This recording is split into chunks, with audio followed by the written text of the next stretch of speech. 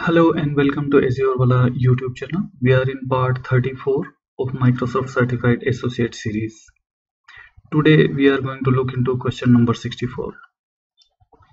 You have a hybrid deployment of Azure Active Directory that contains the users shown in the following table. User 1 is the member of Azure Active Directory user 2 is the member of windows server active directory. Since it is hybrid that means we do have azure active directory and windows server active directory connected. And user 3 is the guest account from uh, microsoft account. You need to modify the job title and usage location attributes for the users. So we have to look for the solution which one is correct in this case so in our answer area we'll go and we can see here we do have job title uh, and usage location.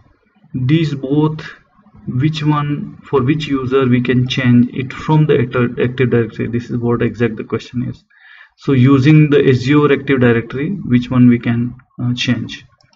Let's quickly go to azure portal and see where we can find out this job title and usage location attribute for the user so we'll quickly open our azure portal. We'll go to azure active directory users and the users will go to user and we'll edit the property for that user. Here we can see the identity information of that user where display name first name last name and principal name etc there. And the job related information like job title we can change from the job information tab further we can uh, have the settings tab here. And in the settings tab we do have usage location. So that is a drop down and that also we can change from here. Since the user 2 is a member of windows server active directory and uh, um, it requires the synchronization between both active directory and azure active directory. Therefore user to uh, identity information or the contact information or the job information. Uh, these should be uh, changed on the uh, Windows Server Active Directory itself since that is the source of authority.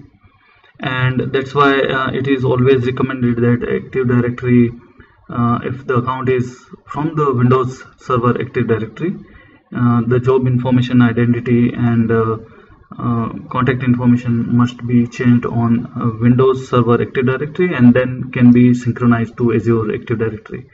Uh, except this, definitely user one is Azure Active Directory member, so it can every aspect of this user profile can be changed from Active Directory or Azure Active Directory itself. So there is no issue with that. And uh, next one is the user 3 which is the guest account definitely on the Azure Active Directory therefore it can also be changed from the Azure Active Directory. So uh, let's go to our answer area and quickly scroll down. Therefore our answer would be that user 1 and user 3 only uh, the job titles can be changed on Azure Active Directory since user T2 is uh, uh, Windows server active directory member that therefore we cannot change this one. But usage location we can uh, change for everyone since it is uh, licensing related and it can easily be maintained through the azure active directory. So these are the option uh, or the answers in our case. That usage location we can change for this and user 1 and user 3 can uh, the job title can be changed from azure active directory let's move to next question. Question number 65 you need to ensure that an azure active directory user named admin1 is assigned the required role to enable traffic analytics for azure subscription. And uh, traffic's uh, traffic analytics is a service from network watcher. So uh, the solution is given you assign the network contributor role at subscription level to the admin one. Let's see the answer. Let's understand what traffic analytics is. So we'll quickly go to definitions.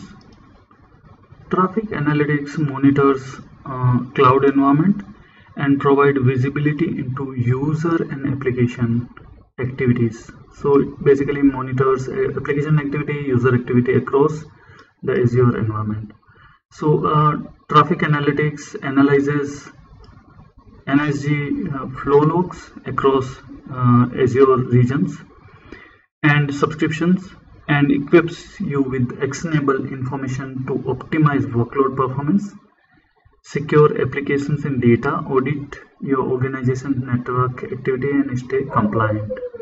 So this is what the use of uh, traffic analytics in detail and uh, further um, the subscription scope which we can use or the roles we can utilize to uh, enable the traffic analytics are uh, definitely owner role is the full access uh, to all the resources and delegate the access to others. So owner definitely can do or enable the traffic analytics. Second role is contributor uh, it create and manage all type of azure resources create new tenant in azure active directory and can't grant any uh, access to others. So that also uh, can enable the traffic analytics.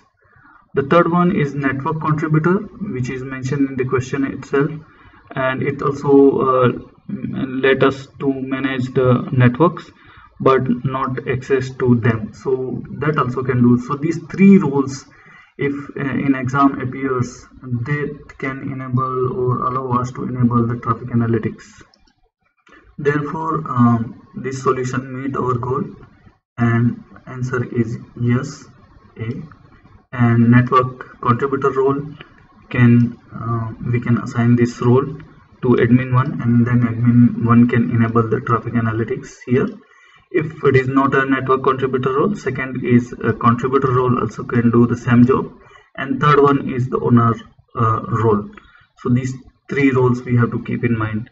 Let's quickly see where the traffic analytics in azure portal as well. We are in azure portal now. In azure portal we can go to network watcher under the network watcher we can add end we can see traffic analytics. And here a little bit of information provided about this and we can configure the traffic analytics from here. I hope this video was informative for you. Please do like subscribe press the bell notification icon and share with your friends. Thank you for watching. See you in next video